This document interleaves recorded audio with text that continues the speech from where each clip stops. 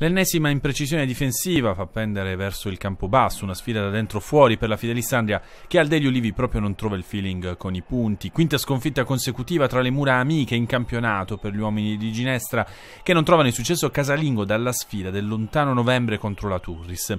Il problema è che si aggiunge ancora l'asfittico attacco biancazzurro a complicare i piani salvezza andriesi, il campo basso di Cudini e spugna Andria per la prima volta nella storia e mette la freccia verso la salvezza diretta a un primo tempo molto equilibrato e con l'ennesimo legno colpito dai biancazzurri fa da contraltare una ripresa decisamente più sottotono in cui il campo basso sfiora su calcio piazzato un paio di volte il vantaggio prima del gol di Tengorang. Ma andiamo con ordine. Ginestra, tornato in panchina dopo il turno di squalifica, si affida al classico 3-5-2 e fa esordire subito Ciotti sulla destra, anche a causa della squalifica di Capitan Casoli. Monterisi all'esordio in difesa con Legittimo in panchina, attacco affidato ancora di Piazze Bubas.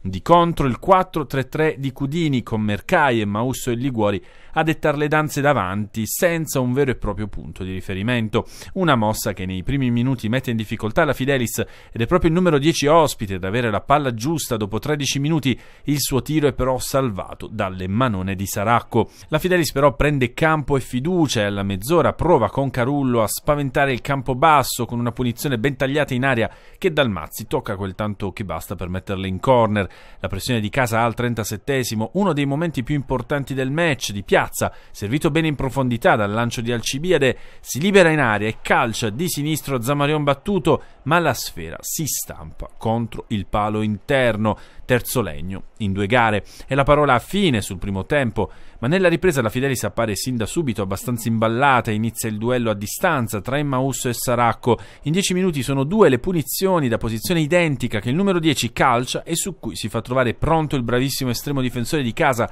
che nel primo caso sfiora anche quel tanto che basta la palla per mandarla sulla traversa. Sempre Emmausso di testa mette incredibilmente sul fondo un assist intelligente di Persia. Ginestra allora prova a dare una scossa ai suoi inserendo il trequartista Tulli e dopo cambia anche l'intero attacco inserendo Messina e Ortisi ed è proprio Messina alla mezz'ora ad avere l'occasione giusta per il gol del vantaggio. L'instancabile Risolo pone da sinistra un pallone perfetto per il piattone al volo del ventunenne attaccante andriese che però da pochi passi la alza davvero troppo.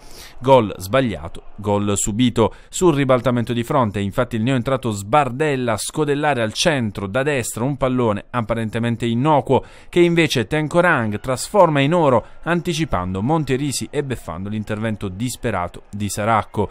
Il gol spegne completamente la luce alla Fidelis, che prova un assalto finale assolutamente inefficace per cercare il pari, e anzi Di Francesco a calciare dal limite, sempre attento Saracco, finisce tra i fischi del, degli ulivi, un match che avrebbe potuto riportare la Fidelis a guardare più da vicino la salvezza diretta e che invece lascia in terzultima piazza i biancazzurri, che ora mercoledì saranno attesi da un nuovo turno casalingo, questa volta contro il Catania.